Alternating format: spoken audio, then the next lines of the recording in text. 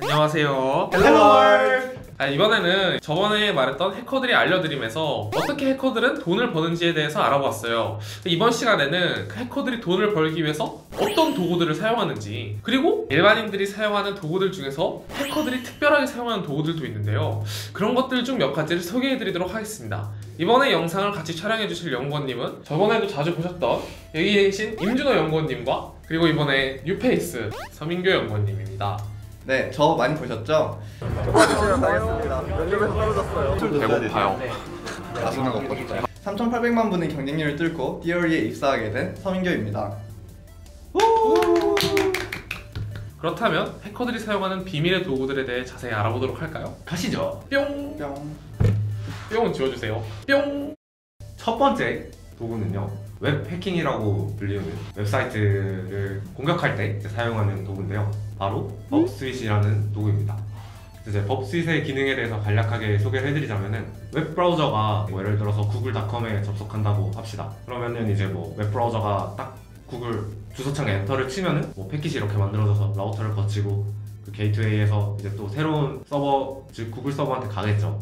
이제 그 중간에 브라우저에서 밖에 있는 네트워크 인터페이스 가기 전에 프록시 서버 저희가 만든 프록시 서버 즉 Burp Suite 서버겠죠. 거기를 거쳐서 그 통신하는 패킷들을 중간에서 이제 다 보고 수정할 수 있고 그다음에 그걸 다 capturing 할 수 있는 그런 도구입니다.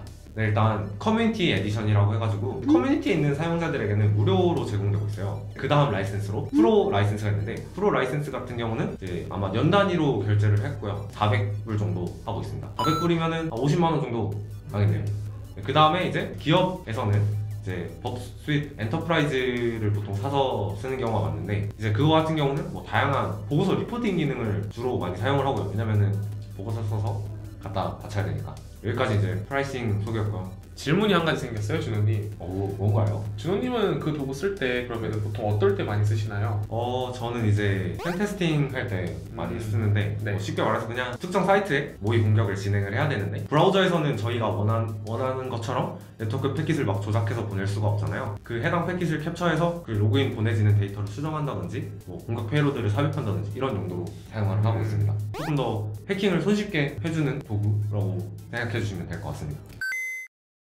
저희가 소개해드릴 두 번째 도구는 가상화 프로그램입니다. 가상화 프로그램은 한 개의 호스트 OS에서 여러 가지 멀티 OS들을 실행할 수 있게 도와주는 도구인데요. 그 조- 종류에는 Parallels라던가 뭐 VMware, 그다음에 VirtualBox 등이 있습니다. 이런 그 가상화 도구들을 저희들은 해킹을 할 때 사용을 하는데요. 해킹을 할 때 저희는 해당 OS에서 밖에 확인할 수 없는 그런 정보들, 피해자의 컴퓨터와 똑같이 환경을 맞춰야 될 때 완벽하게 똑같은 환경이 구현되는 것이 중요하기 때문에 똑같이 가상화 도구들을 이용해서 구현을 해놓은 다음에 테스트를 합니다. 대부분의 사람들은 여러 가지 OS를 돌리기 위해서는 여러 대를 사야 되는 거 아니냐라고 생각하실 수 있는데 제가 방금 지금 소개해드리는 가상화 프로그램을 사용하면 뭐 윈도우에서 리눅스를 돌린다던가 그 맥에서 윈도우를 돌린다던가 따- 서로 다른 OS를 실행시킬 수 있습니다.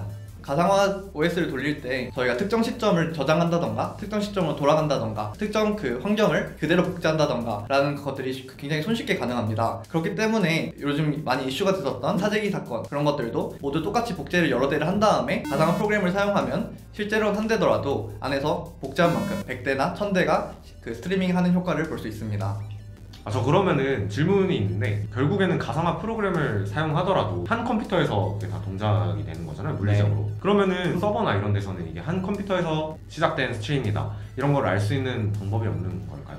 어, 사실 굉장히 어렵죠. 왜냐하면 서비스에서 알 수 있는 그 정보들은 뭐 user agent라던가 IP 정보밖에 없는데 어, IP 정보 같은 경우에는 이제 각각의 instance마다 서로 다른 네트워크 인터페이스를 할당을 하면은 IP address는 쉽게 여러 가지로 조작이 가능한 거고 user agent 자체도 이제 사용자가 조작이 가능한 정보기 때문에 굉장히 어렵다고 생각합니다. 네 감사합니다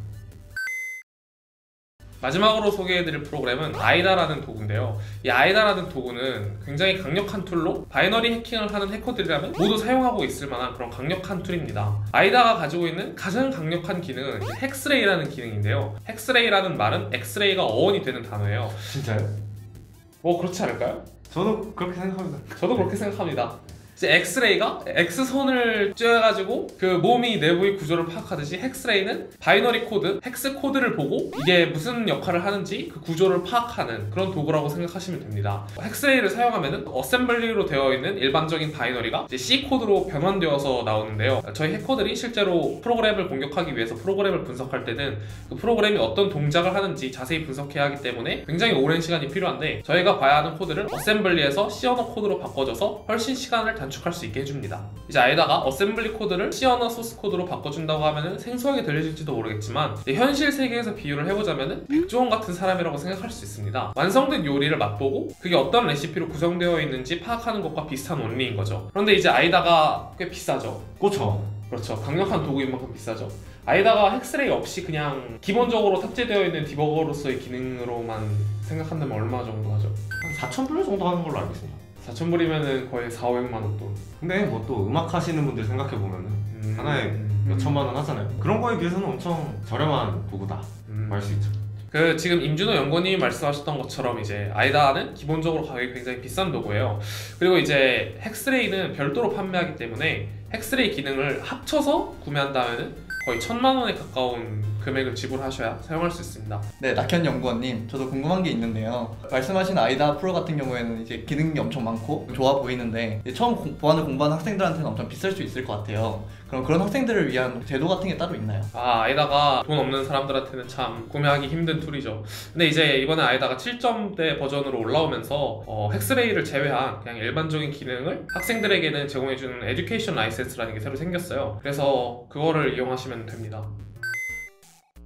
일반인들은 일반 프로그램으로 사용하지만 해커는 안에 있는 이런 숨겨진 기능들을 잘 활용을 해서 해킹 업무를 할 때 잘 사용하고 있는 툴들이 두 가지 정도 있는데요. 그 중에서 첫 번째는 바로 이제 크롬 브라우저입니다. 크롬 브라우저에서 개발자 도구라고 해가지고 그 사이트 개발자들이 자신의 사이트를 벤치마킹 테스트를 하거나 아니면 네트워크 패킷이 정상적으로 갔는지 이런 용도로 쓰라고 크롬에서 만들어 둔 거였는데요. 저희 해커들은 이제 이 개발자 도구를 이용해서 네트워크 모니터링도 할 수 있고 브라우저 화면에서 보여지지 않는 그런 element들을 개발자 도구를 통해서 확인을 할 수가 있어요. 그래서 뭐 최근 평가원에서 그 수능 점수 미리 볼 수 있었던 것도 이제 브라우저 UI 상에서는 보이지 않지만 개발자 도구를 통해서 이제 UI에선 보여지지 않는 그 input element가 있는 걸 확인을 하고 걔를 이제 그냥 보여지게만 하면은 손쉽게 그냥 그런 문제점이 발생을 했던 겁니다. 두 번째 도구는요. 바로 이제 블루스택이나 녹스 플레이어 같은 친구들인데요. 일반인 분들은 이제 이런 걸 사용을 할 때 보통 이제 모바일 게임을 PC에서 돌리기 위해서 많이들 사용을 하시잖아요. 저도 많이 썼습니다. 네 이제 그 말은 모바일 환경 즉 안드로이드나 iOS 환경을 이제 PC에서 구동을 할 수 있게 해준다는 건데 그럼 그 말은 즉슨 이런 안드로이드에서만 돌아가는 실행 파일들을 실제 안드로이드 기기를 갖고 와서 선을 꼽아가지고 그럴 필요 없이 이제 뭐 디버거도 붙이고 아니면 메모리 조작도 쉽게 할 수 있고 그런 분석을 할 때 사용을 합니다. 이번 시간에는 임준호 연구원님, 서민규 연구원님과 함께 해커들은 어떤 도구를 사용하고 일반인들이 흔히 사용하는 도구들 중에 어떤 도구들이 이제 해커에게 다른 방법으로 사용될 수 있는지 이제 알아보았습니다. 댓글 항상 지켜보고 있으니 혹시 궁금하신 점이나 저희에게 해주셨으면 하는 일이 있다면 남겨주시면 감사하겠습니다. 만약 이번 영상이 도움이 되셨다면 구독, 좋아요. 알림 설정. 까지 부탁드리겠습니다. 감사합니다.